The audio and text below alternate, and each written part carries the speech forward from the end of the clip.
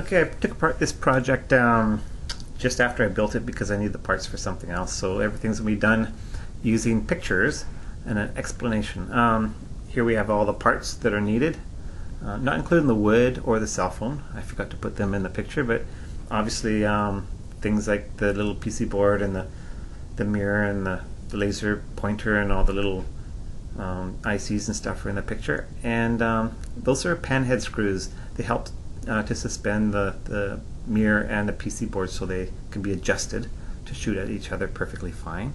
Um, everybody needs an old cell phone for this project and it should be the one with the hard keypad that click, not the screens. And obviously I went to the dollar store and bought a, a $1 laser pointer and I used the, the button out of it as well for the project. Um, if you want to know how to assemble this, uh, it's actually good to watch the other video I made called How to Really Build a Laser Pointer Security System and explains how to take apart your laser pointer as well as how to assemble the mirror onto a base of some sort. I also used um, what we call ISO opto isolators. That's the three little pin um, chips on the left hand side and they separate the electronics in the cell phone from the electronics in the project so that the wiring and the voltages don't uh, fight each other. And that's obviously a PIC 12F675 chip. And you could use any uh, microchip chip if you wanted. I like using these little um, breadboards because there's no etching involved. It makes uh, for an easy project.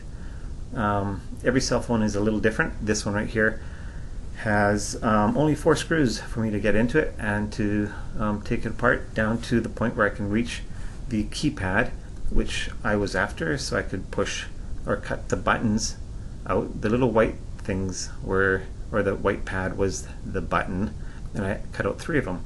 And you can see a better picture here where I cut them out and I was after the 7 and the N button as well as um, the camera button in order to um, use this project, this um, cell phone for my project.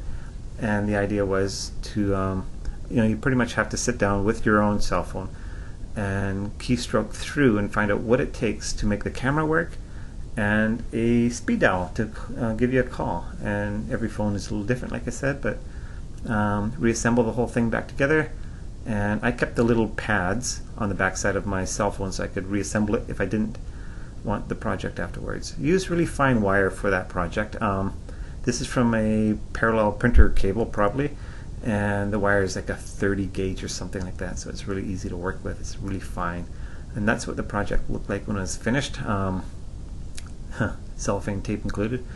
And um, this is what I call the um, the keystroking sequence. And basically like I said um, my cell phone basically I had to hit the end button twice to make the cell phone go on and then the uh, the camera button once to turn on the camera and a second time to take the picture and then a, an end button to stop that and then a speed dial 7 to make a phone call and then finally an end button.